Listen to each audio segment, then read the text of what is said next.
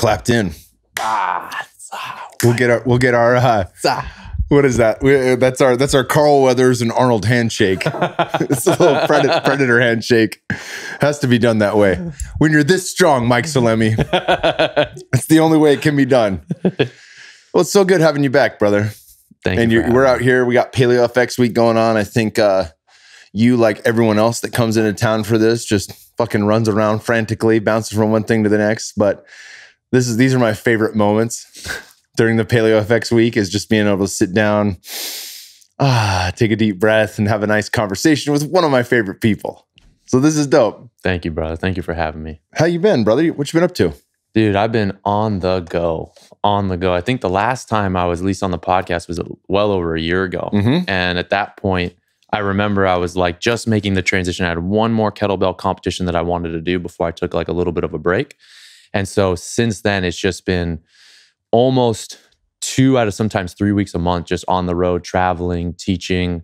Um, so much so that definitely a pain teacher showing up recently to tell me to pain slow, teacher. slow the f down. Uh, but I've been doing really good, man. Just traveling, teaching, meeting a lot of people, and uh, enjoying it a lot for sure. Let's let's let's talk about that. Is that's a that's you know obviously you're a you finished damn near all of the education through Paul Chek and and quite a bit more outside of that on your own.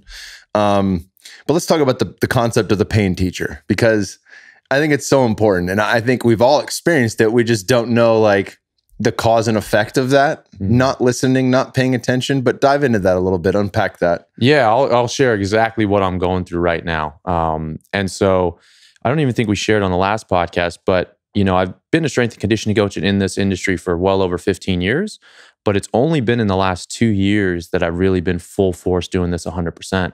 For eight years, I was in a family business uh, in the marble and granite industry.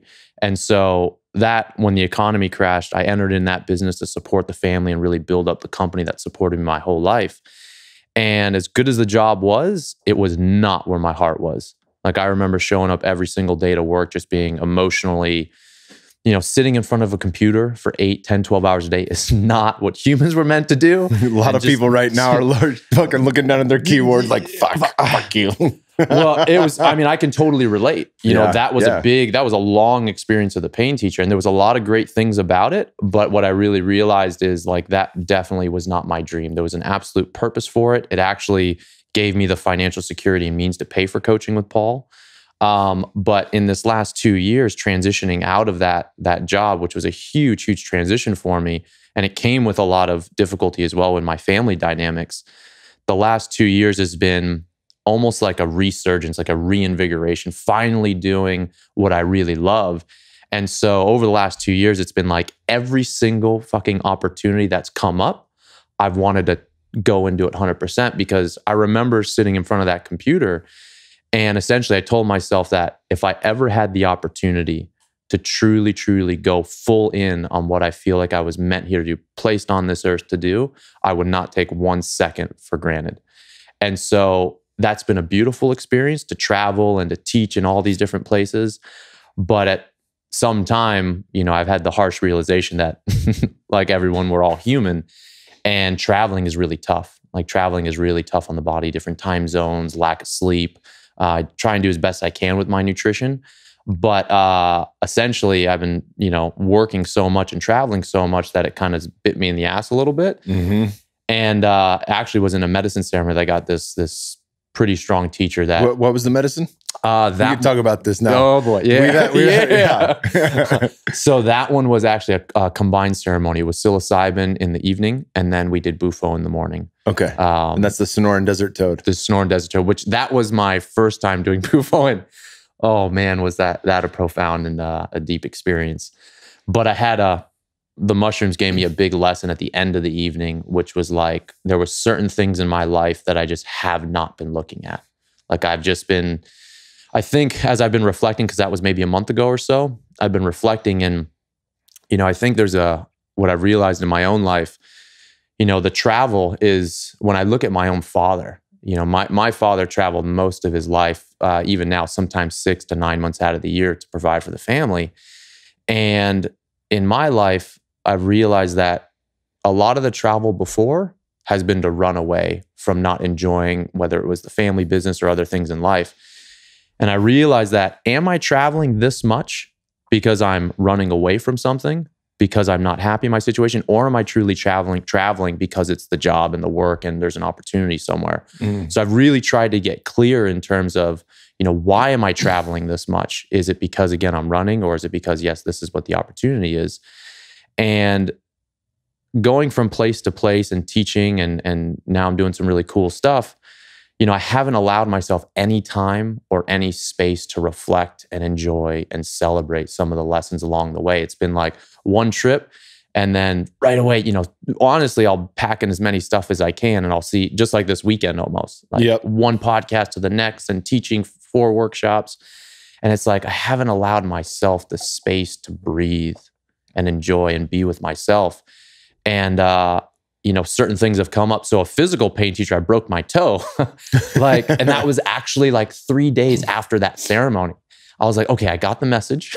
I need to slow down. Um, and then two, three days later, I was doing some uh, some training with uh, we were talking about him last time, Marinovich. That's Gary right. Yeah. So okay. training with him. Great, amazing. That's in uh, Santa Cruz, right? Santa Cruz. Okay. Yeah. So I was training with him and we were doing some uh, agility drills, and all of his training is fascinating, all reaction drills, partner drills.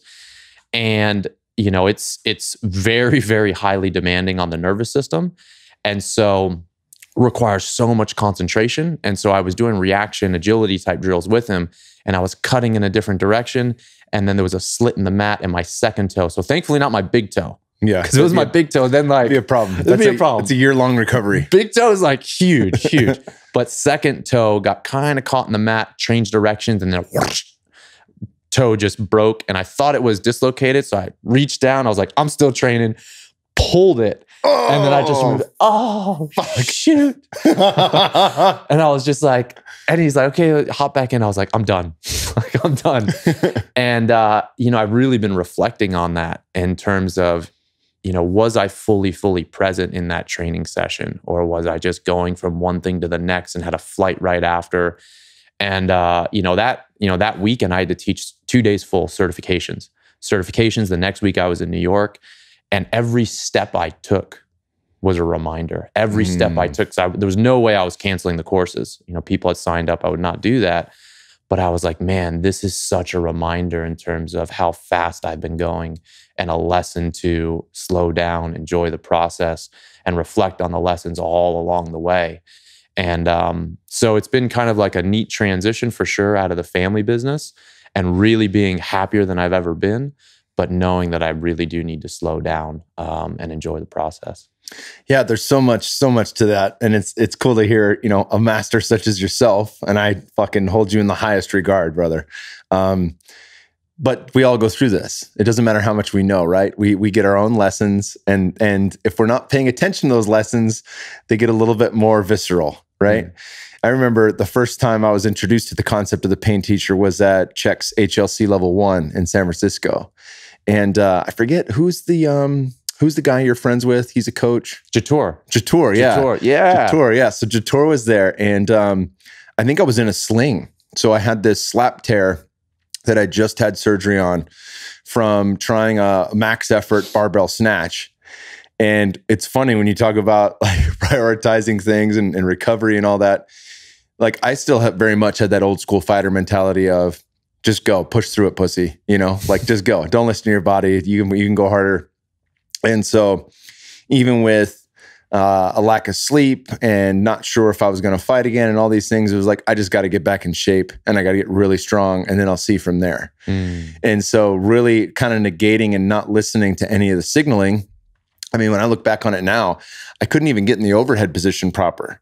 So, barbell snatching with just the barbell would have been a stupid idea, let alone with two and a quarter. You know what I'm saying? Like, that would have been a dumbass move, even without that. If I'm not opening up the subscap and actually paying my dues to be able to get in that position properly, that's an issue. So, that was a pretty gnarly one. It took me about a year and a half to recover from that. Mm. And, um, but all along that way, you know, anytime I would cough or sneeze, I would feel it. I'd feel the pain of that. And it took me so long. Shoulders a fucking weird one, man. I mean, it takes so long to recover from that. But um there was always that that that just reminded me that was a very long lesson to learn that you know and sometimes it's just getting sick i mean the pain teacher showed up in my life many times throughout my fight career um but it but it really showed up then you know that was the one where it was like hey you haven't been listening for a long enough time so we're really gonna we're really gonna settle in on this and you'll have a long time to reflect so you know it's funny too and i want to dive into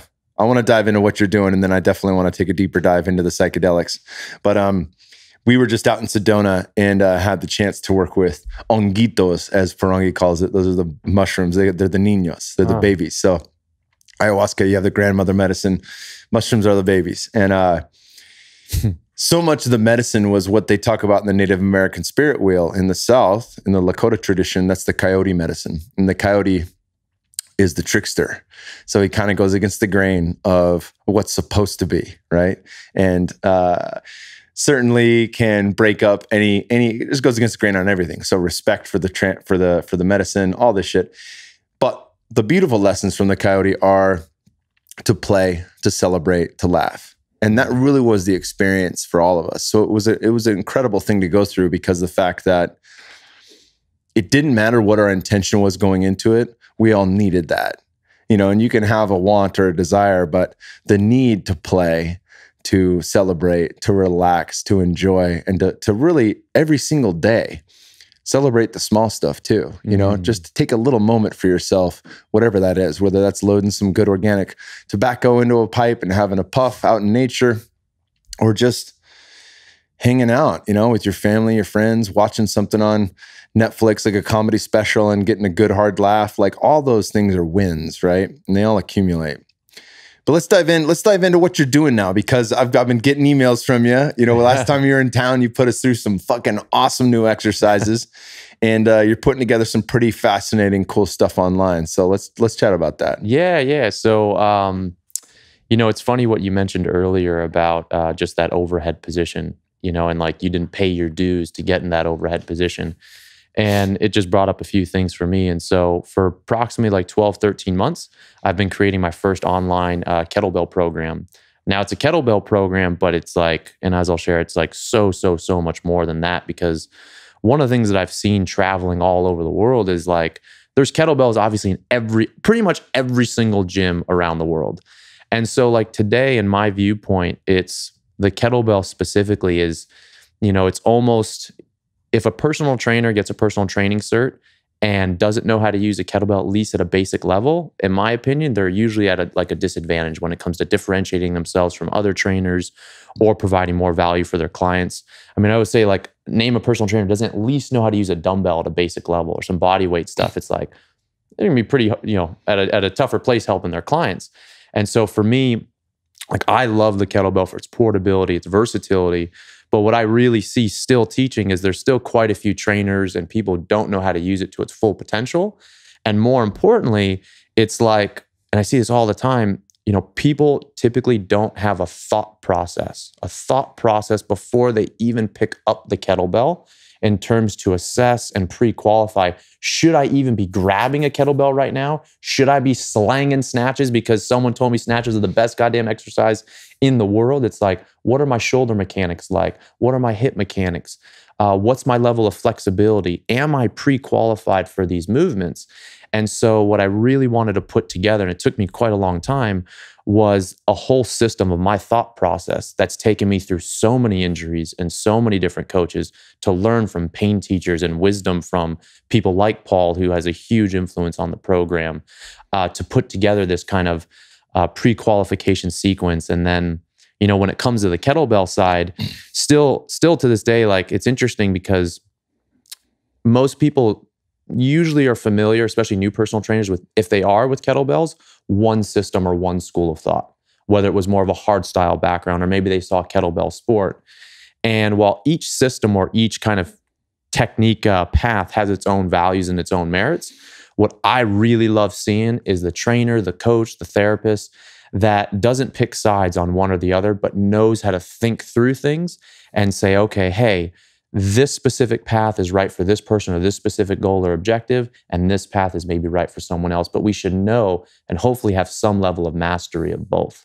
And so in the program, it covers both systems. So you get that thought process. You know, last time I was I was listening to our podcast and uh, we talked a lot about working in. Mm-hmm. And so I mentioned like Paul had such a huge influence on this program. And so what I did too is uh, we talked a lot about working in. And so Paul was kind enough to do about eight lectures, eight mini lectures on working in when to work in time, surface, clothing, what are some of the benefits, uh, how he kind of created his criteria. So that's in there too, because it's, you know, if we just look at it from the working out component, we miss, you know, so many of the lessons that we're meant to learn in the gym. So there's that as well. It is, in my opinion, the most comprehensive online program out. There's over 500 videos, all with in-depth instructions, uh, written instructions, and uh, it's something I'm really excited because it's so so tied to my evolution and my struggles. Um, and that's really what I wanted to support. I want to support the person who truly wants to learn this stuff, wants to put in the work, is willing to pay their dues. It's not a workout program. I've it's also really hard for me now that I'm trying to post more on social media. it's really hard for me. I know workouts, for example, are like what, you know, a lot of people in the industry do to get, you know, views and stuff. It's it's very hard for me to post workouts. And when I do, it's like there's always like a little check that I got to do internally because you don't know who's in front of you. You know, I think working out for fitness, it's good. Movement's great. Movement's great. But, you know, training someone like you train yourself is usually a dangerous recipe unless you know what their limitations are, what's their goal, the objective.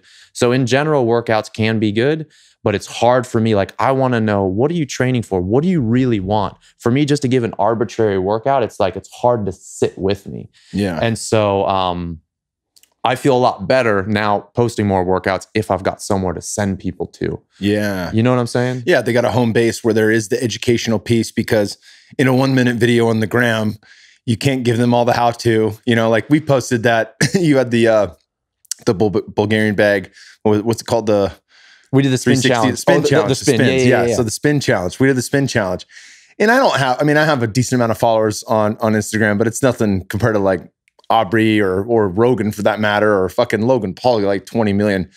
Um, but you know, 40,000 followers on Instagram and the video had like 120,000 views. Yeah. It was something ridiculous. It was like, I don't even have that many followers, you know, but people were sharing it. They were tagging their friends. And for sure, that's, that's almost like the male equivalent, equivalent of the female ass shot in the thong, right? Like you know that's going to get views. There's no doubt about it. Well, you had Tosh so, in there too. Yeah, so that definitely drew too, some, there was, yeah, there was some balance. Some, be- some, beautiful feminine uh, uh-huh. energy. There was there was balance there.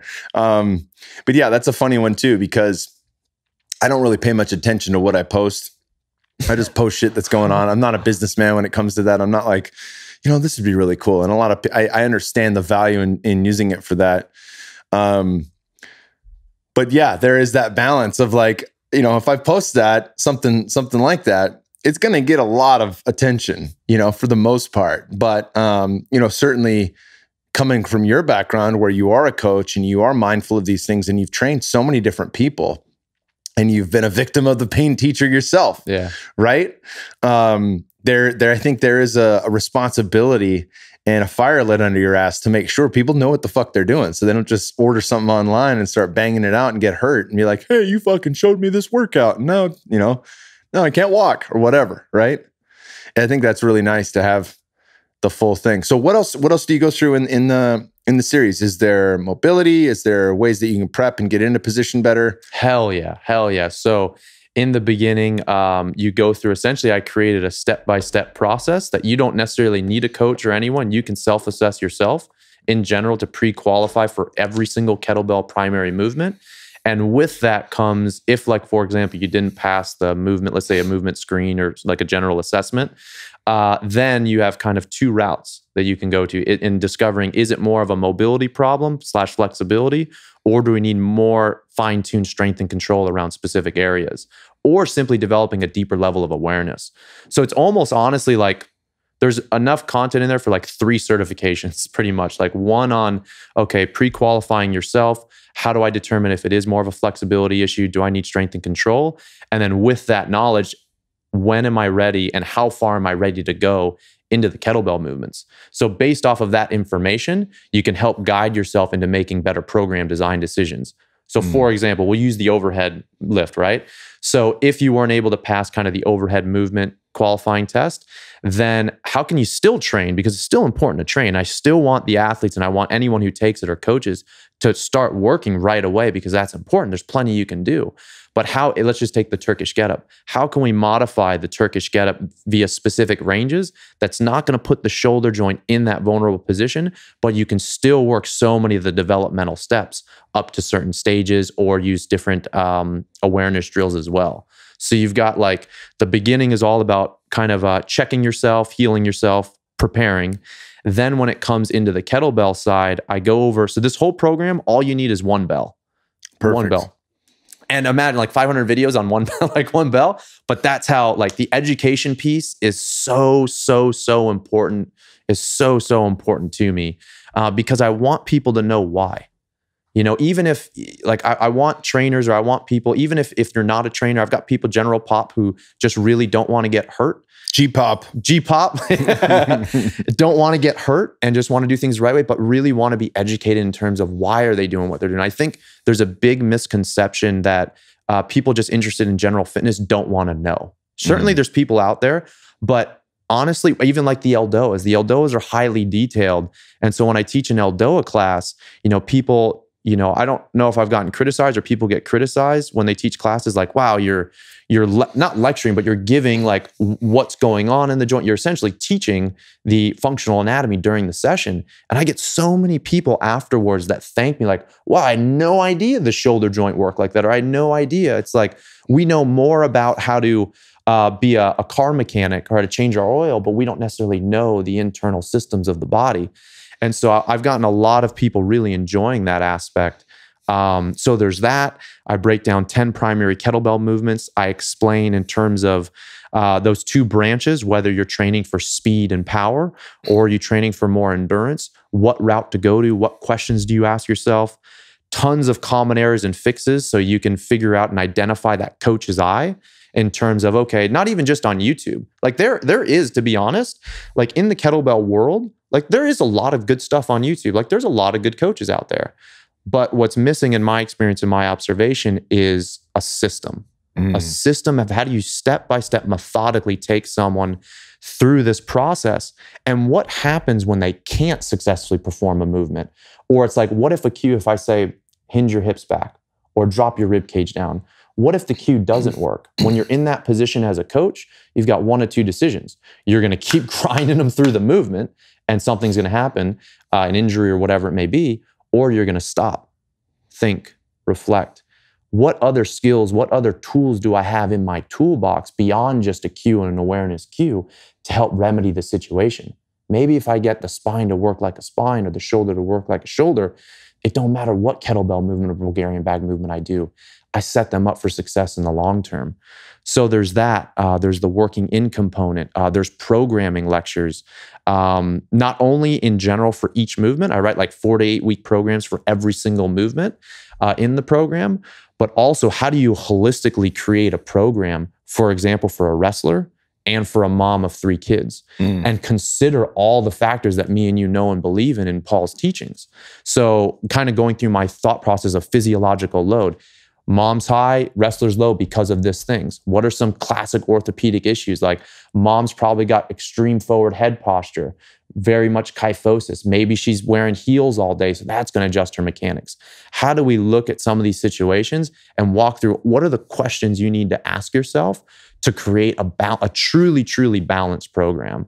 Um, so those are just some of it. And then again, Paul's lectures were just so, so, so valuable and rad. And I think for the long term longevity of someone, uh, incorporating that working in component to balance out both sides is like it feels so good for me because I feel like I'm not again I'm feel like I'm educating I'm empowering someone to like I would love to support people but I want you to figure it out yourself so you don't need me you know need me only if you really can't figure something out but you got the tools to take it into your own hands and run with it yeah that's the best that's the I mean the best coaches teach that way mm. they give you everything they know you know, and obviously this isn't the, all that Mike Salemi knows, but it's a fair amount of what you know around this particular thing. But there's balance included with the working in practices. And as you layer that out, the idea is that you you create masters that know how to do this on their own. So they don't need to hit you up. I mean, it always, there's an old school mentality around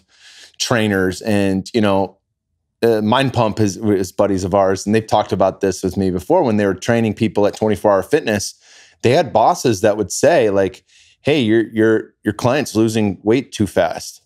You know, Mhm. we need to slow that down. You want them to come back. You don't want them to have a six pack and not need you anymore. You want them to to you know you got you got to stretch this out. You got to milk it longer, right? And that's a very it's an old school mentality, but it still is a fucking a large portion of the fitness industry, right? Whereas you know in other avenues where you're competitive, I'm sure this happens in kettlebell sport or in fighting and things like that. Like you want your coach wants to give you everything they fucking know. They're not stringing you along like, well, I want him to keep me till his 10th fight in his career and you know, I'm to I'm going to save this special move for him for when he fights for the title. That way he still keeps me around after that. It's like, no, that's fucking bullshit. Like teach them at their pace, but give them everything. So that's really fucking cool. Talk about um what you're doing now in education with college students. Oh, dude. So that that same kind of thought process, like, is carried over into some of these university curriculums that I'm starting to create. So I just started working with. Uh, this is my second semester back at uh, Northwest Vista College here in uh, San Antonio, Texas. And what they created, which is so rad, is they've got essentially it's a it's a combined project between the kinesiology students and the personal training department, where they're bringing in some of like you know the thought leaders in the industry and educating the students with real world practical experience with what they're going to expect when they leave because most not, i'm not saying all of them but a lot of times the university curriculum is a little bit further behind Mm-hmm. or it's got influences from larger corporations et cetera so that can skew the education right but they're actually bringing in the people who are in the trenches in the trenches seeing not only what's happening now what went wrong in the past and where potentially people can go in the future to really set themselves up so with these people with these students i've created like an eight eight part curriculum two sessions each time. So i'm teaching them the mastering the kettlebell system how to essentially develop this thought process so that when you leave you don't just read in a book or read somewhere that you know the the russian kettlebell swing or the hardstyle swing is the best thing for someone. It's like what if they're inflamed what if their guts inflamed and you throw them right into a high powered movement? What if they don't meet those prerequisites that we were talking about earlier? So these students are getting my thought process in terms of that. I'm also getting to teach them on rotational training with tools like the Bulgarian bag, Hertz bands, Eldoas, holistic nutrition. And so, really, when these dudes leave, you know, obviously there's only so much you can teach them in that limited amount of time. But man, if I had that when I was starting off and actually got a scope when someone was really out there visiting these gyms and visiting these physical what- physical therapy clinics, like whatever route they want to go, it's like I really want to support the new personal trainer. And so we started it there, and they've got some other great speakers as well. But it's something that I want to get in like University of Texas and some of these other places. But uh, you know, it feels it- it's so cool when you like you, you know you ask the question in the beginning. You know, how many how many students have let's just say some kettlebell experience? and at a, I think I had like almost 40 students in the last uh, the last uh, presentation, and legitimately three people raised their hand, and those three people have no formal experience, and I'm like, yes, I'm so fired up. You know, that means potentially less dogma, less less pattern. You know, it's and it does. Don't get me wrong, it can take much more skill to work with a beginner. You know, higher level athletes, as you're very well familiar, programming is I think more important. Beginners are hard because you really got to coach you really got to be a good coach and and help them and i just love that these kids are coming in fresh and hungry and motivated and it's like that is the kid that i really want to support um, and so to plant those seeds just feels so so good to share that education piece with them Yeah. And it's, you know what? The one positive there, aside from having a hungry young person, is that you don't have to untrain all the shitty movements and mechanics that they had been doing for a long time, right? That's, that's, I think that's, that's huge. Cause anytime I take somebody that, if I was coaching somebody in, in mixed martial arts or some form of striking or jujitsu, if they've been kicking incorrectly, you know, for a very long time, that takes a long time to unmap Yeah. that, to unglue that, and to teach a different kicking style. So no doubt that's that's the same with anything in life from golf to whatever. Um, so that's cool. That's really cool that you get some young hungry folks in there. What are you guys doing with firefighters now? Oh, dude. So you're, I don't know, if you're familiar with the California uh, Center for Functional Medicine? No. Uh, so it's, so Chris Kresser okay. is uh, a partner and kind of co-founder with um, Dr. Sunjya. And essentially what they're doing is, um, so Dr. Sunjya put together this program where he's, it's a six month pilot study and we're running it with the Santa Clara County Fire Department. And essentially what it is, is the whole goal and the whole mission is to completely reformulate the way that firefighters take care of themselves to reduce the risk of injury, increase longevity, to reduce cancer risk, to reduce heart disease risks. And so, over the course of six months, the California Center for Functional Medicine created a one one time a month, like a different um, module or different focus each month. So the first month is like diet intervention. So putting these guys on a reset diet. Uh, we got 18 volunteer firefighters involved, all different ages, all different. You know, some guys have two years in, some guys have been doing it for almost 20 plus years. We got a fire chief in there, um, the fire chief of the county.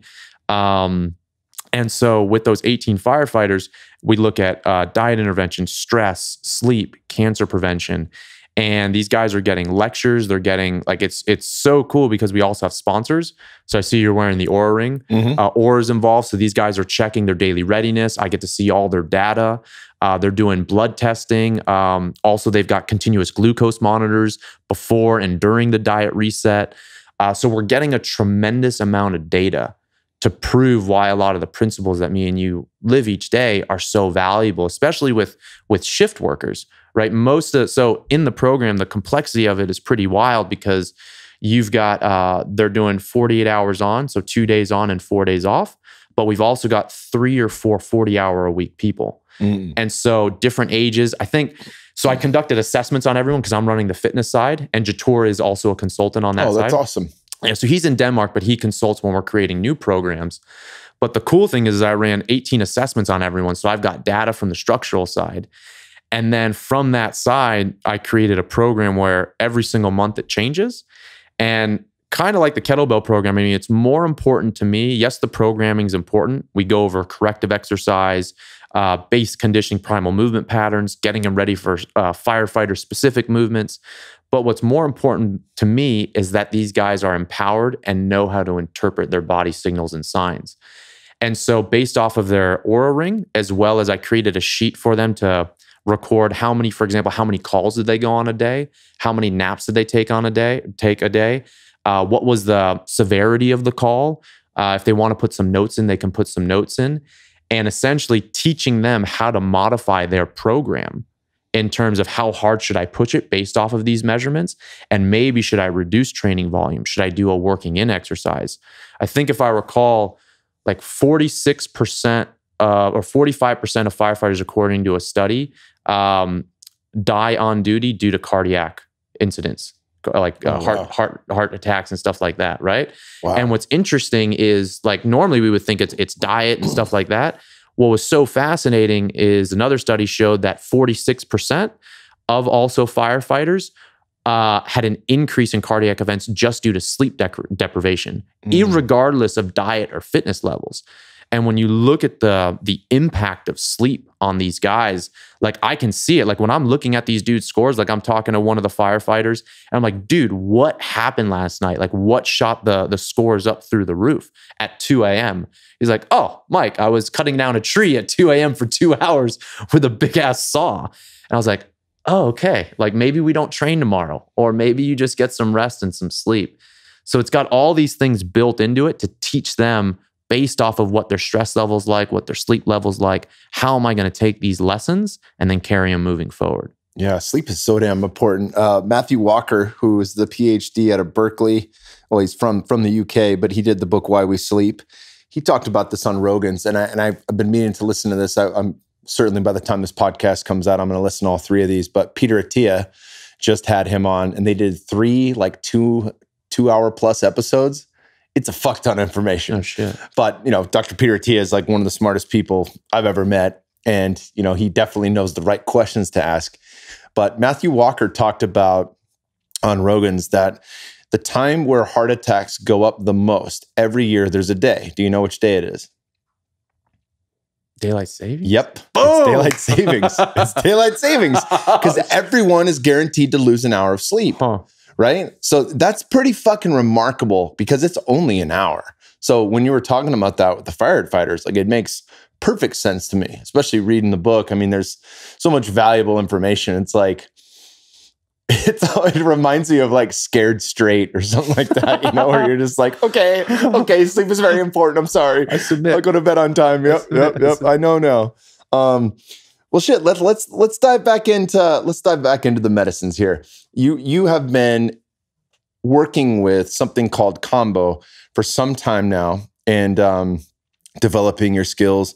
And uh, I, I want to dive into that because it's not one that's talked about often. I think I first heard Amber Lyon on the Joe Rogan Experience maybe in 2014, mm. talking about her, and she was of course the CNN reporter who had cured a lot of her PTSD and depression through the use of ayahuasca and psilocybin, and also was working with Kambo, which she says, um, for the most part, like was able to kind of heal immune issues and make her bulletproof to life in in a lot of ways. So let's talk about this one because it's it's it's on the spectrum of difficulty close to anything that's out there, like Iboga or ayahuasca, but also um, from what I understand of it, it's it's more for you know you go through the physical hard to have the physical gain not necessarily i mean obviously there's a mental component to anything you do mental emotional spiritual but at the same time uh, you know it would be less visual than say a dmt trip or a bufo trip uh, talk a bit about Kambo and what you're doing with it and why you think it's really something that should be a part of everyone's arsenal. Oh, dude. So, Kambo, I've been using Kambo for maybe three years. Um, and now it's almost a part of like a monthly practice. So Kambo, it's not nothing psychoactive, and essentially what it is is so in the Amazon, in the Amazon, it's it's called hunter's medicine or warrior's medicine because essentially what what the tribesmen would do is before a hunt, they would apply this medicine to their skin and go through this ceremony. And like you're saying, it would hyperactivate the immune system, but they also believed that it would make them run faster, have more energy, have more stamina. And essentially what it is is, is there's a huge physical cleansing component um, and essentially, so sapo is the frog and the secretion from this particular tree frog in the Amazon. It's a large, large tree frog. And the way they cultivate this secretion or cultivate the frog is uh, the Indians sing to it. So they sing to this frog. And actually, if I recall correctly, the story is that the vision of how to cultivate this medicine and the healing powers of it came uh, via shamans who are using ayahuasca. Okay. And so that's also why like it doesn't necessarily need to be used with any of the plant medicines, but it can be like it works so so well to help prepare the body and cleanse negative energy especially. And so they call out these frogs from the trees. Frogs come down, they sing to them, it comes down. They allow them to essentially, it doesn't harm the frogs in any way, but they kind of like pull their arms apart and their feet apart. And then they essentially kind of like tickle. Uh, usually, I even think they even like uh, tickle the toes of the frog. And then that uh, helps the frog secrete this, this, uh, this secretion, the sapo. And so then they release the frogs, they go back up to the tree, and then they call them back every two to three months. And so it's super, super ethical but they take the medicine and then they dry this the secretion onto this re- onto this stick and it forms like a like a resin compound okay. and then in ceremony what you do is so typically uh, traditionally men will start getting it on the left shoulder females on the inside of i think it's the right leg uh, so a little bit further from the heart and what you do is you take like an incense or some type of implement to burn little holes in the skin. And so the the diameter of the holes are pretty small. It's like maybe like an eighth inch, so not very much. And essentially you would burn these little dots on the skin. And what you're trying to do is you're trying to get below the outer layer of skin down to the epidermis so you can open what we call the gates. And so the gates open up, and then you apply with some water. Uh, you create these little balls of the secretion you apply it on the skin into those open open areas or those little open wounds. And essentially what's so fascinating about the medicine is it goes direct enters directly into the lymphatic system. And so when it enters the lymphatic system it passes through circulation. And what it does is essentially well it does a few things. The experience of Kambo, more or less across the board is pretty uniform in most people. In ayahuasca or in some of the plant medicines it can be so varied. Mm-hmm. but with Kambo, it's, it's pretty normal what what the stages are.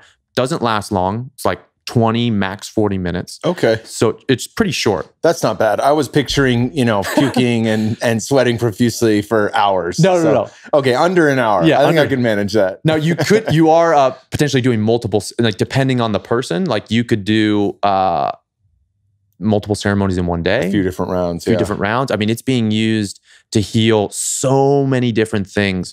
Uh, parasite infections, bacteria infections, Alzheimer. It, there's a study right now, or a few studies that are using for for cancer prevention.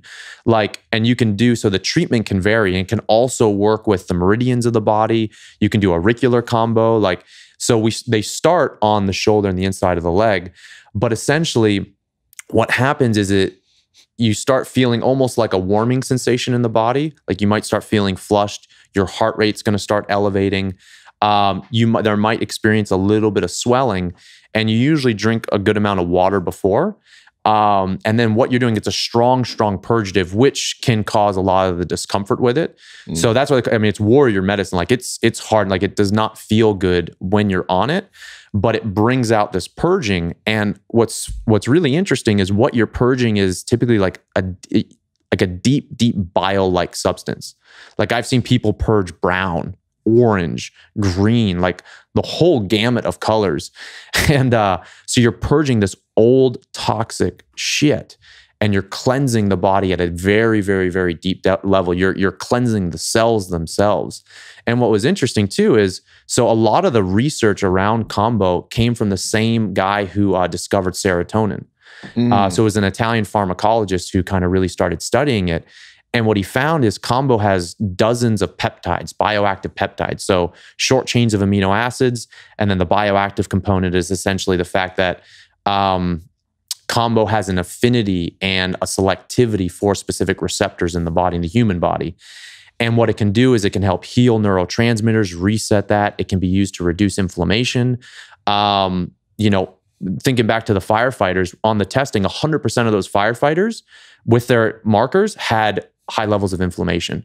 So it's like for someone like, like everyone has today has like high, higher levels of inflammation. It's- you're looking at like C-reactive protein, things like that. Exactly. Okay. Exactly. So um, it can reduce inflammation, reduce pain, it can cleanse the body. And usually you'll start feeling better maybe about an hour after. But I feel like the next day, like you feel like Superman. Like, and I think not only from a cleansing perspective, but from the spiritual side of things and from the emotional side of things, if you do uh, kind of what's called like um, conscious purging. So as you're purging, you're putting that intention into the what you're letting go of. Like it can be also very helpful in terms of like if you feel stuck, if you feel blocked, or a fighter before a camp, you want to set the tone and really start something in a, in a cle- like a clean slate. Mhm. So it's it can be great for physical healing, mental, emotional healing. Um, it resets the body, uh, and, and the effects are just are super powerful. You can do it by itself, or even just to prepare before a plant medicine ceremony. Yeah, and I hear that it's fairly long acting, like uh, in terms of the benefits. Like you, you go through a ceremony like this, and from what Amber Lyon was saying, so many antibodies. It's almost it's like the, the God's greatest hormetic stressor. Like every antibody is raised to the roof. Your immune system's on blast for six months to a year. It's very hard to catch the common cold. Obviously, you know I had JP Sears on the JP Sears on the show, and um, he he had done some Kambo and then got sick like maybe a few weeks later. And i was like well what were you doing wrong? Because you must have fucking put your body through the ringer. Can i ask what was stressing you out? And i think it was travel a lack of sleep and um, you know the some of the mental emotional stuff around work. So i mean eh, he got hit with multiple multiple avenues of stress and that's what brought him down. But for the most part it's pretty hard to actually catch something you know? Like and we, you and i know this that if I'm healthy and I'm in good in a good spot in life, physically, mentally, emotionally, and, uh, and my stress levels are low, I'm not going to get sick because I shared wa- a water bottle with Mm. some kid with a snotty nose. Like I don't catch a cold from someone else, but those colds are always around us, right? All these germs are always around us. It's when my body is weakened through any avenue of stress, whether that's lack of sleep, shitty diet, mental, emotional stress, uh, any of this stuff, overtraining, right? That's when I'm susceptible to that cold. So I think I think that's that's an important thing to realize too. But I'm I'm super down to try Kambo. So I want to I want to do it with you, and uh, and I definitely want to report back on it. I think Yeah. that'd be a cool thing to do. That'd be awesome. I'm actually going to go. So I've been just using it for my own healing uh, for the last few years, and just trying to understand the uh, the medicine, not in the Western sense, but the medicine in the more you know this the natural sense like this. But I've been really trying to understand it, connect with it, and what I've really come through in the visions as well in some of the medicine ceremonies is this is something that I do want to support others in, uh, especially those who really want to do the work. And so in October, I'm going for like a kind of an intense two week immersion uh, to become a practitioner. And so it's something that I really, really would love to share. So I would be so down and so I'm in, excited. dude. I'm in, brother. Yeah, Awesome. yeah. You can guide me I would- anytime, I would love to support. that. Fuck yeah. Well, it's been excellent having you back on. we won't wait uh, wait a whole nother year to get you back on again because life is moving quickly and and you're gaining so much so much wisdom in between. It's been excellent having you back on. Where can people find you? And I definitely want to link to your programming in the show notes that way people have an easy one click to get to the page and see your new programs. Yeah, that would be awesome. I'll create a special discount code too for anyone who's listening, anyone from Onnit. So uh, you can find me on Instagram at mike.salemi. And then the program, if you go to programs.mikesalemi.io slash Onnit, that'll be a landing page, set you guys up with a discount. I'll also create like a little free gift for you guys as well. Um, so that's the best place to find me. And my website is mikesalemi.io. Awesome. Fuck yeah, brother. Dude, thank you so much. Hell bro. This was awesome.